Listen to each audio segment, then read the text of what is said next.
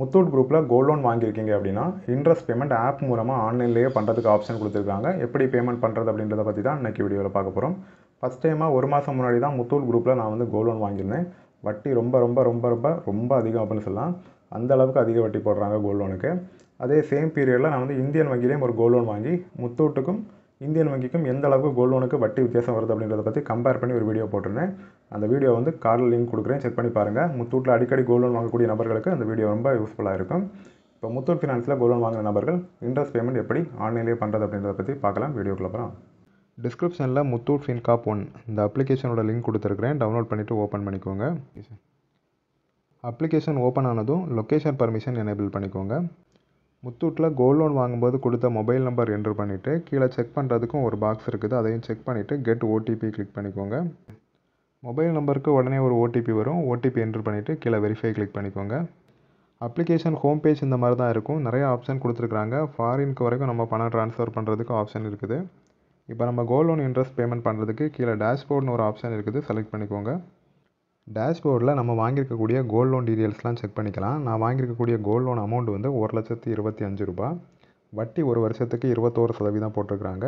Due date வந்து நாளைக்கு தான் வருது. நான் ஒரு நாள் முன்னாடியே பேமெண்ட் பண்ணுறேன் நான் வாங்கின அந்த வெறும் ஒரு லட்ச ரூபா அமௌண்ட்டுக்கு வட்டி ஒரு வருஷத்துக்கு எவ்வளோ வரும் அப்படின்றத சிம்பிளாக ஒரு கால்குலேஷன் பண்ணி பார்க்கலாம் இப்போது நான் ஒரு நாள் முன்னாடியே பேமெண்ட் பண்ணுறதுனால ஆயிரத்தி அறநூற்றி அறுபத்தி நாலு ரூபாய் இருக்குது. இதுவே நாளைக்கு நான் பேமெண்ட் பண்ணுற மாதிரி இருக்குது அப்படின்னா ஆயிரத்தி எழுநூற்றி ஐம்பது ரூபா கிட்ட வரும் வட்டி ஒரு மாதத்துக்கு ஆயிரத்தி எழுநூற்றி ஐம்பது இன்ட்டு பன்னெண்டு போட்டிங்க அப்படின்னா ஒரு வருஷத்துக்கு கரெக்டாக இருபத்தோராயிரம் வட்டி மட்டுமே வருது. நம்ம இப்போ பேமெண்ட் பண்ணுறது ஒரு மாத வட்டி மட்டும் இல்லை நம்ம எவ்வளோ பேமெண்ட் வேணாலும் தாராளமாக பண்ணிக்கலாம். மொத்த அமௌண்ட்டையும் இந்த ஆப்லேயே செட்டில் பண்ணிட்டு கூட நம்ம போய் நகையை மீட்டுக்க முடியும். பேமெண்ட் பண்ணுறதுக்கு ரீபே நவ் ஆப்ஷனை கிளிக் பண்ணிக்கிறேன்.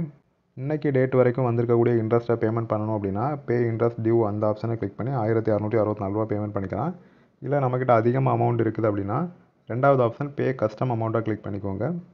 எவ்வளோ அமௌண்ட் உங்களால் பேமெண்ட் பண்ண முடியுமோ அந்த அமௌண்ட்டை இதில் என்ட்ரு பண்ணிவிட்டு ப்ரொசீட் டு பே கிளிக் பண்ணிக்கோங்க.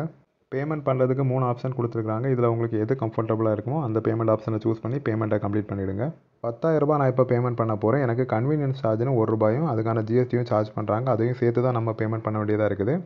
பத்தாயிரரூபாயை விட கம்மியாக நீங்கள் பேமெண்ட் பண்ணுறீங்க அப்படின்னா உங்களுக்கு இந்த கன்வீனியன்ஸ் சார்ஜ் வந்து கம்மியாகும். அதிகமாக பேமெண்ட் பண்ணுறீங்க அப்படின்னா இந்த கன்வீனியன்ஸ் சார்ஜ் வந்து இன்னும் அதிகமாகும்.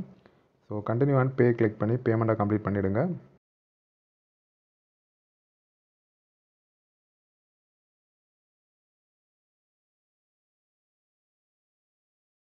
பேமெண்ட் பண்ணதுக்கப்புறமா மறுபடியும் பேமெண்ட் பண்ண பேஜ்லேருந்து ஆட்டோமேட்டிக்காக ரீடைரக்ட் ஆகி இந்த பேஜ்குள்ளே வரும். கோ டு ஹோம் கிளிக் பண்ணிக்கோங்க. மறுபடியும் டேஷ்போர்ட் செலக்ட் பண்ணிக்கிறேன்.